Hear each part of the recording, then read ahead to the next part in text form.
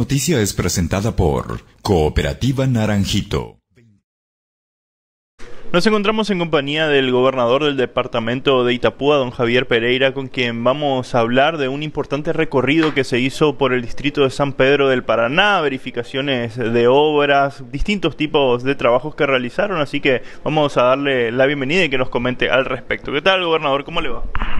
Muy buenos días, buenos días a toda la audiencia de Itapúa Noticias. Bueno, el día de ayer fue un día muy interesante. Hemos visitado el distrito de San Pedro del Paraná. También importante recordar de que en el distrito de San Pedro no pudimos llegar a tiempo para las paladas iniciales. Hoy contamos con cinco obras en ejecución, seis en total. Eh, construcción de empedrados, de aulas en escuelas, eh, instalaciones de agua potable. Bueno, ayer estuvimos recorriendo las obras en ejecución como también las futuras obras que queremos iniciar, como construcción de puentes eh, que une el distrito de La Paz con el distrito de San Pedro del Paraná.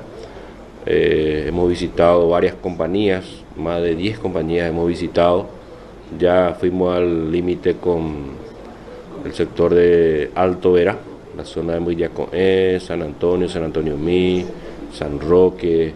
Hemos visitado varias compañías acompañado de los concejales departamentales, la presidenta de la Junta Departamental y otros concejales que estuvieron presentes, acompañados también del intendente municipal y concejales municipales, en donde fuimos recibidos en todas las compañías por los diferentes presidentes de las diferentes comisiones. Bueno, hemos detectado que existen muchas necesidades en cuanto a puesta a punto de los caminos rurales que cuentan ese distrito, como también la construcción de por lo menos seis puentes que hoy son de madera, que no están en condiciones de ser utilizados. Entonces, en base a prioridades, vamos a tomar la decisión de por lo menos tres puentes eh, poner en condiciones con estructura de hormigón.